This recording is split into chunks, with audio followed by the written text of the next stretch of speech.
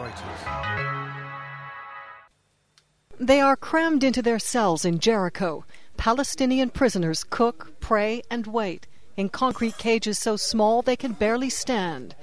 Some of the crumbling, overcrowded prisons of the occupied West Bank date back to the Ottoman era. Many were destroyed by Israel during the Palestinian uprising of 2000.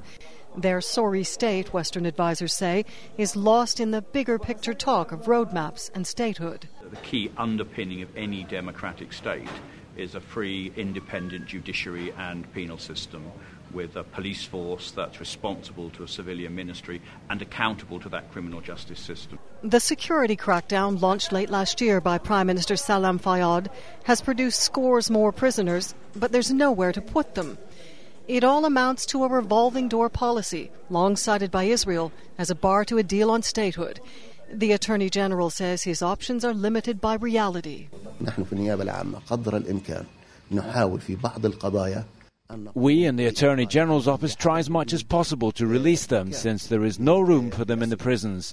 But there are some very difficult cases like murder, betrayal, collaboration, and rape.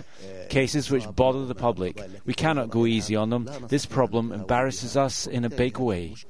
With no cells to spare, police can't execute thousands of outstanding warrants, let alone process the newly arrested. This man expects to be freed after serving only two thirds of his sentence for murder. Overcrowded prisons and backlogged courts. Some detainees are waiting years for sentencing, and there's no solution in sight. None of the billions pledged by major states to help build the Palestinian Authority has been earmarked for new prisons. Susan Flory, Reuters.